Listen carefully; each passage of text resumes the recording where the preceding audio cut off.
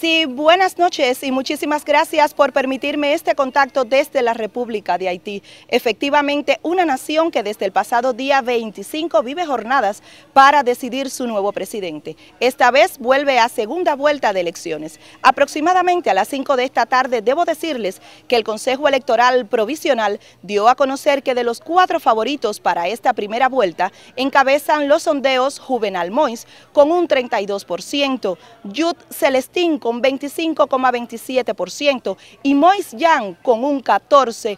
27%. De acuerdo a lo establecido en las leyes electorales de este país, estos resultados que se dieron a conocer hoy debían darse este martes que pasó. Sin embargo, antes las múltiples denuncias que cuestionan el proceso, el Consejo Electoral Provisional prefirió seguir investigando para despejar las dudas y dar a conocer el candidato presidencial que iría a las votaciones de cara a la segunda vuelta del próximo 27 de diciembre.